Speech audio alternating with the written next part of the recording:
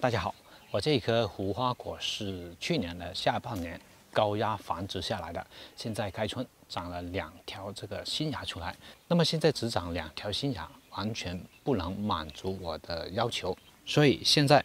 必须要给它处理，让它长更多的分枝，长更多的侧芽出来。我们要做的就是给它打顶促分枝。我们做修剪的时候，只需要保留这条新芽的下面两对叶片就可以了，上面这一部分给它剪掉，然后呢，再给它做一下伤口处理，因为这个伤口呢太大，容易感染细菌。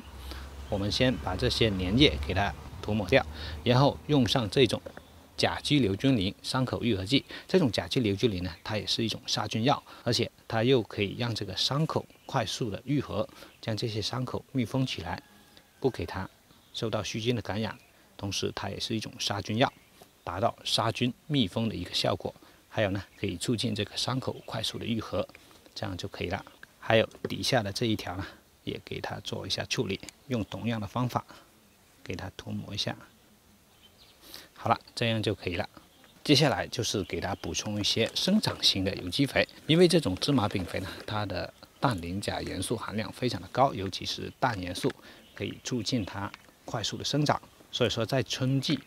不管什么花卉，给它使用一些生长型的有机肥是非常有必要的。尤其是一些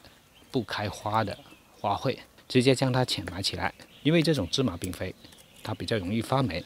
我们只要埋起来就可以了。好了，这样就处理完成。接下来就是正常的养护，保持这个土壤属于一种微潮的状态，多给它晒太阳，就能保证它再过个十天八天就能长很多侧芽出来。